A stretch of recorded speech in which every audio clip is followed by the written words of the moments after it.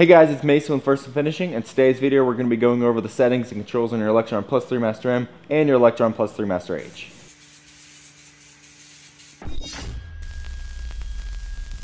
First things first, we're going to start off with the controller. To turn it on, you're going to hit this on button here. It's going to run through a boot up screen.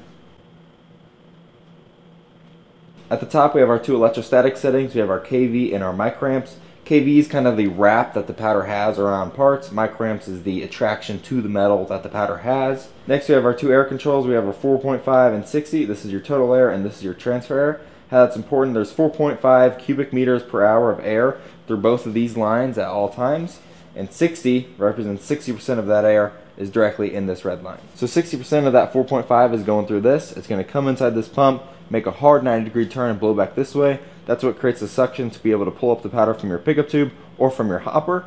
The remaining 40% is going to be in this black line and that's just going in here and blowing this way. That's kind of an assist air to help the powder go through your powder hose and come out of your gun at a nice consistent flow. So you're going to use both of these settings here to create the powder cloud how you like it and they're fully customizable to whatever you want. General rule of thumb, if you want a little bit more powder, you're going to turn up this percent air. You want a little less powder, you're going to turn it down. We also have the ability to save programs, so if you like a program that works really well for a product that you do somewhat often, you can hold this button down. It'll start flashing. You can change it to whatever program you want. Say we're going to change it to program 5. Hold it down again. This is going to lock it into the system. So now if you get off of it by changing a setting like this, you can recall that program by hitting this button and scrolling to it. We have four factory presets. We have our first one, which is recommended for easy flat work. We have our second one, which is recommended for multi-coat or two-coat parts. We have our third one, which is recommended for complicated and Faraday parts. And we have our fourth one, which is like our first one, but it uses the maximum 120 kV, 120 microamps, and it sprays a little bit more powder, which means it has slightly better transfer efficiency than the first one, but again, it's for easy flat work.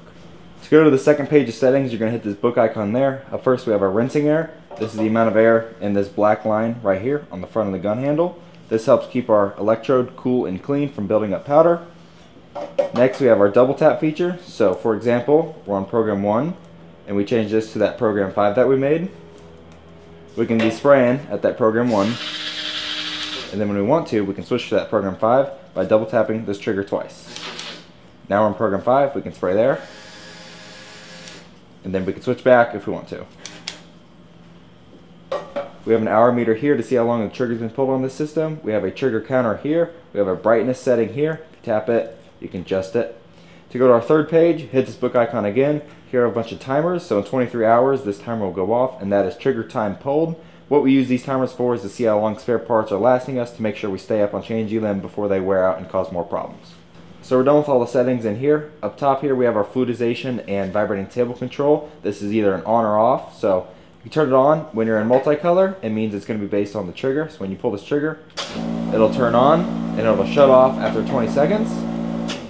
Or if you're in hopper mode, you can hold this down, change this to hopper, and now it's either on or off based on pushing this button. So on, off. You can turn on the Bluetooth using this button there. And again, all of these settings are completely customizable by hitting the button next to them and using the dial to change them. The Electron C1 gun like this has four buttons on the back. You can hit this P button to toggle between any of the programs on your main screen. You can plus and minus them how you would like. And for example, if you don't like that double tap feature, you can come over here and swap between two different programs just by doing this. You can hold the P button down, it'll run a fast purge.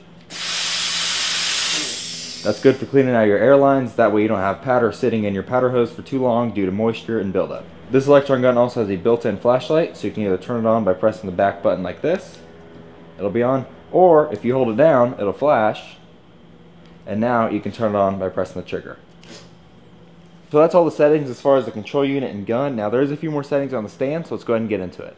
This is our fluidization control. We use this regulator and dial to control how much air is in this orange tubing here. Now this is more of a visual setting rather than an air pressure setting, so I'll show you what it should look like. So I'm going to start slowly turning the regulator, and you'll see it start to bubble up, just like that.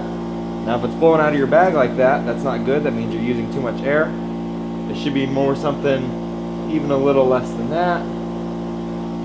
Just like that. You just want it bubbling up just a bit, but obviously not blowing out of the bag. So that's how you use it on box feeds. Now whether you're using a small hopper or a big 50 pound hopper, the same rules apply. So you're going to turn it on and slowly increase your air. Now small hoppers are a little more finicky, so you may have to shake it up a little bit to prevent it from throwing all your powder out at once. Um, bigger hoppers doesn't really happen, so you're gonna shake it up a little bit when you first start, and then you're gonna turn it down, something like that. So when your hopper looks like this, that means you're good. You go ahead and put your lid on, and you're ready. One other major setting on your control unit is this main air filter regulator back here.